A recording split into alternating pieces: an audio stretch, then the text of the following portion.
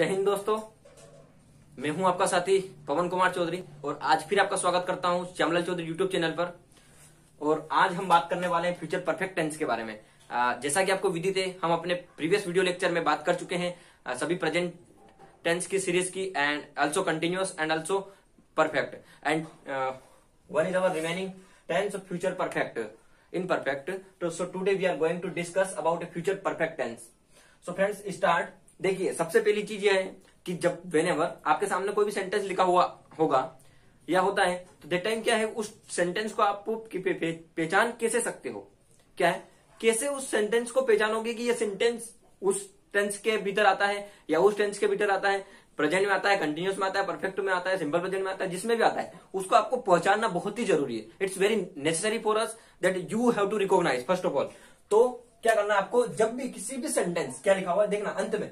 मतलब जब कभी आप किसी सेंटेंस कोई भी वाक्य आपके सामने हो और उस वाक्य के अंत में, क्या है? उस वाक्य के अंत में यदि आप, क्या है?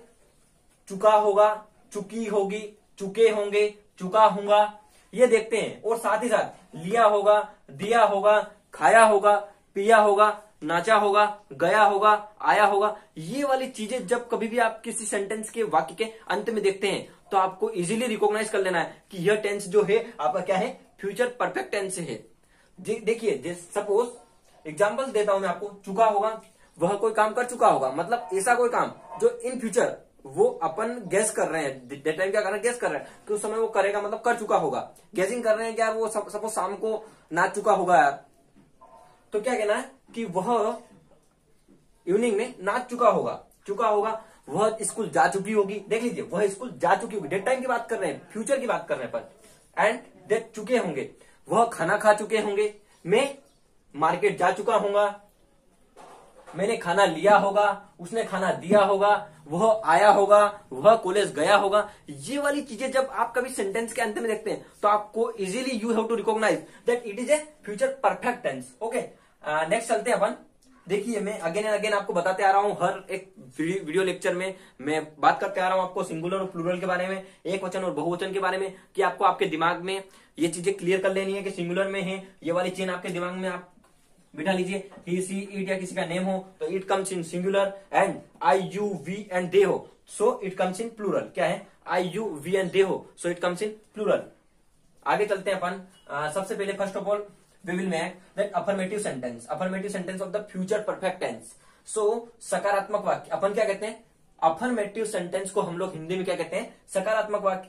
हर वीडियो लेक्चर में बताते आ रहा हूँ आपको अफर्मेटिव सेंटेंस सकारात्मक वाक्य। हाँ अब आपको आगे ध्यान रखने वाली थिंग्स ये है कि क्या है? आपको उस सेंटेंस का, उस जो सेंटेंस सकारात्मक सेंटेंस है मतलब अफर्मेटिव या नेगेटिव या इंट्रोगेटिव है फ्यूचर परफेक्ट के अंत में फ्यूचर परफेक्ट टेंस में तो आपको उस टेंस को क्या करना उस सेंटेंस का स्ट्रक्चर याद रखना है कि इंग्लिश में उसका स्ट्रक्चर कैसे बनाएँगे? सो so, देख लीजिए आप सब्जेक्ट फ़र्स्ट ऑफ़ ऑल हर टेंस में अपन every tense we are using first of all subject and in the end object okay first of all subject use करना आपको after that helping verb use करते हैं अपन क्या यूज़ करते हैं? Helping verb तो इसमें हेल्पिंग वर्ब क्या होगी आपकी? विल हैव सबसे पहले सब्जेक्ट यूज़ करना है आफ्टर डेट विल हैव अपनी हेल्पिंग वर्ब यूज़ करना है उसके बाद आपको यूज़ करना है वर्ब की थर्ड फॉर्म क्या है?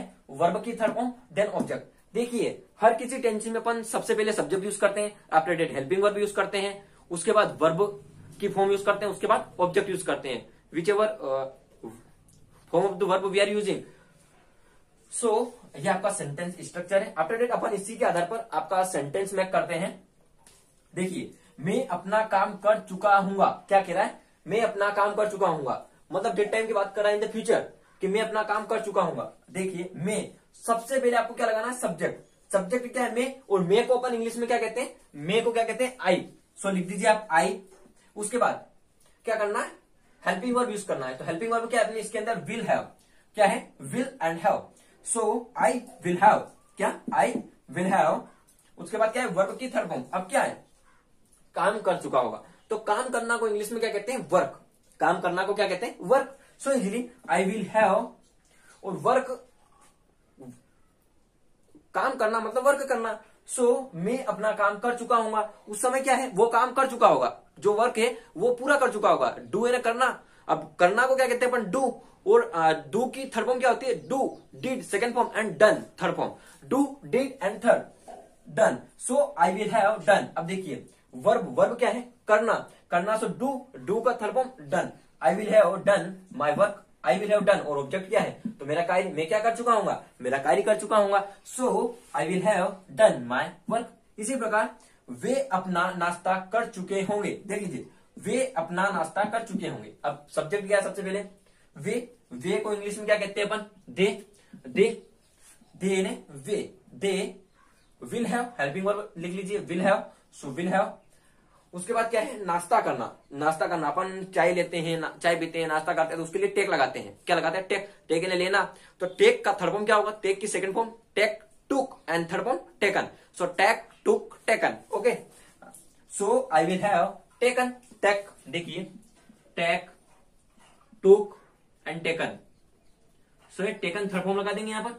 Taken I will have taken their breakfast वे उनका नाश्ता वे अपना नाश्ता कर चुके होंगे। So they will have taken their breakfast इसी प्रकार आप किसी भी सेंटेंस हो, वह कॉलेज जा चुकी होगी।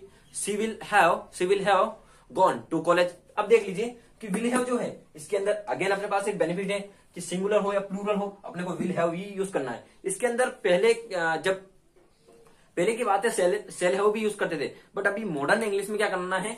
सेल हैव को रिमूव कर दिया गया है, उसको भूल चुके हैं लोग। बस only of only we have to use will have चाहे सिंगुलर हो या प्लूरल हो इट डजेंट मैटर सो इसी प्रकार आपका नेक्स्ट एग्ज़ाम्पल ले लेते हैं। आप वीडियो बना चुके होंगे। क्या कह रहा है? आप वीडियो बना चुके होंगे। So you will have you will have created your video create N बनाना मेक एन बनाना मेक मेड योर वीडियो इसी प्रकार आप कोई भी सेंटेंस हो, कोई भी वाक्य हो you can make easily suppose way market जा चुके होंगे। They will have gone to market वे खाना खा चुके होंगे। They will eaten their breakfast way their breakfast they will have eaten their breakfast they will eaten their food and इसी प्रकार कोई भी सेंटेंस हो वी कैन मेक इजीली आगे चलते हैं। आगे चलते हैं। नेक्स्ट सेंटेंस बनाते हैं अपन।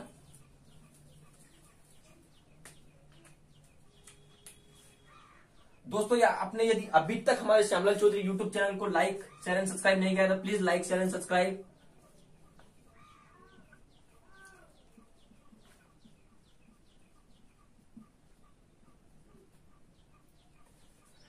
अब बात करते हैं नेगेटिव सेंटेंस बोले तो नकारात्मक वाक्य। हाउ विल वी मेक नकारात्मक वाक्य? नकारात्मक वाक्य, देखिए, पहले तो नेगेटिव सेंटेंस कहते किसे, वो मैं आपको बता देता हूँ थोड़ा सा।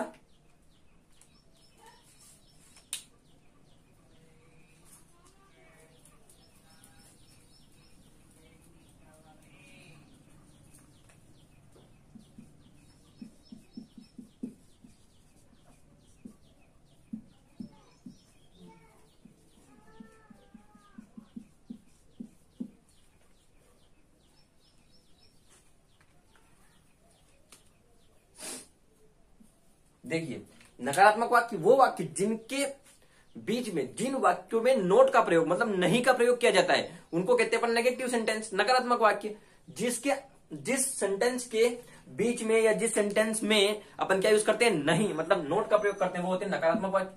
अब देख लीजिए आप विल नॉट हैव कुछ नहीं करना है, आपको जो विल हैव आपकी जो हेल्पिंग वर्ब थी विल उस विल हैव हैव और विल के बीच में between the will and have we have to use not क्या करना है? विल और हैव के बीच में नॉट यूज़ करना है।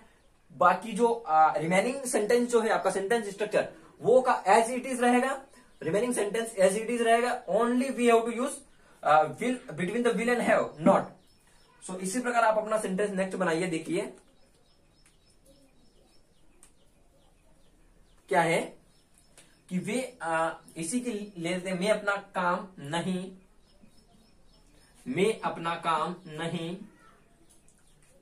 देख लीजिए आप, क्या कह रहे हैं? कि मैं अपना काम नहीं कर चुका हूँ नहीं कर चुका हूँ ऐसे सेंटेंस जिसके, जिसमें नोट का प्रयोग होता है, वो नकारात्मक वाक्य। तो यह नकारात्मक वाक्य, मैं अपना काम नहीं।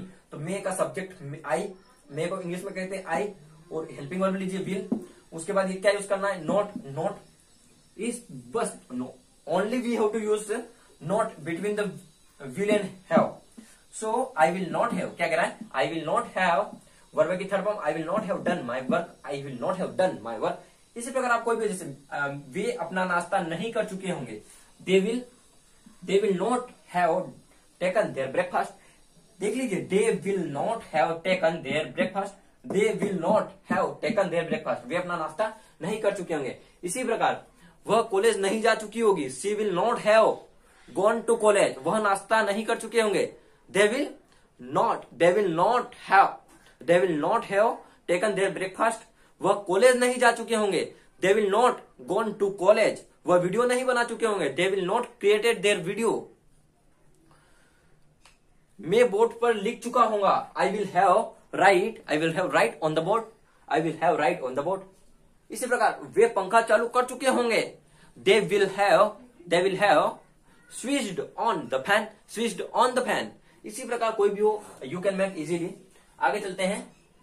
दोस्तों, यदि आपने अभी तक हमारे श्यामलाल चौधरी यूट्यूब चैनल को लाइक शेयर एंड सब्सक्राइब नहीं किया है so please like share and subscribe further.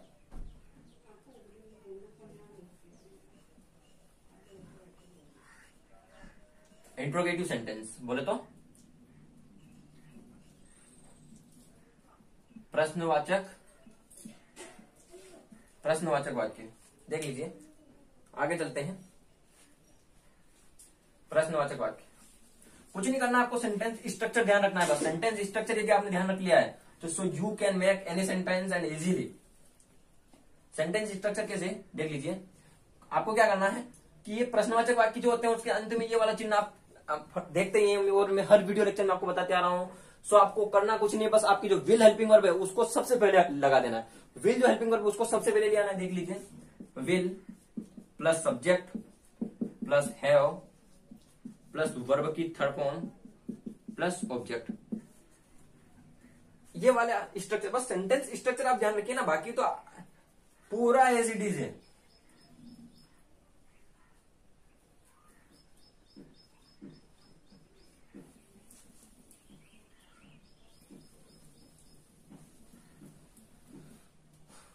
आगे चलते हैं अपन, देख लीजिए।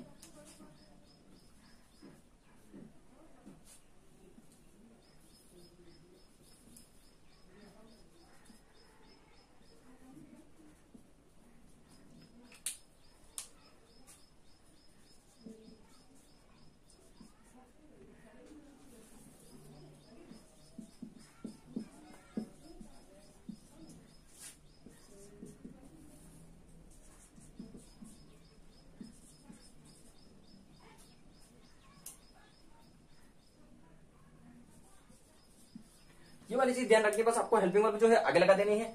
सब्जेक्ट सेंटेंस स्ट्रक्चर ध्यान रखिए आप अपने सेंटेंस में। Will plus subject plus have plus verb की थर्ड फॉर्म प्लस ऑब्जेक्ट सबसे पहले, क्या मैं अपना काम कर चुका हूँ? देख लीजिए, उसी सेंटेंस की बात कर रहा हूँ मैं, जो अफर्मेटिव और नेगेटिव में मैंने मेक किया था। क्या मैं अपना काम कर चुका हूँ?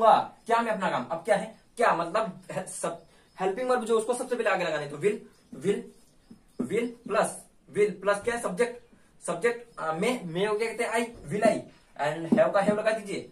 और फिर वर्ब की तरफ़ हम done my work will I done my work क्या मैं अपना काम कर चुका हूँ? Will I done my work क्या आप अपना नाश्ता कर चुके होंगे? Will you have will you have taken will you taken your breakfast लगा दीजिए यहाँ पर। Will you have taken your breakfast क्या वे कॉलेज जा चुके होंगे? क्या कह रहा हूँ मैं? किसी तीसरे व्यक्ति की बात कर रहा हूँ। क्या वे कॉलेज जा चुके होंगे? तो will they have gone to college will they have gone to college क्या वे किताब पढ़ चुके होंगे? क्या वह किताब पढ़ चुकी होंगी? सो क्या है? Will she have read read read read read read read book will she have read read book इसी प्रकार आप कोई भी सेंटेंस हो यू कैन मेक इजीली आगे चलते हैं अपन।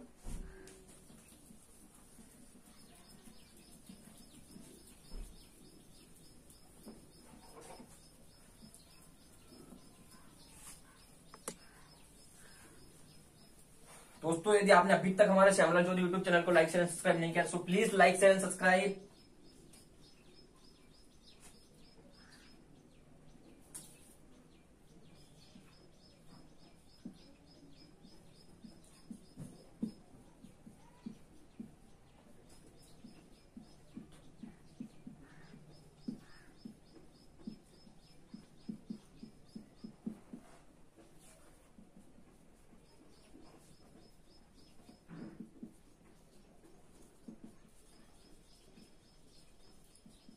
देखिए दोस्तों, मैं पहाड़ पर चढ़ चुका हूँ अब इस सेंटेंस का आपको क्या करना है? अफर्मेटिव नेगेटिव इंट्रोगेटिव तीनों बनाना है और जल्दी से कमेंट बॉक्स में कमेंट करना है।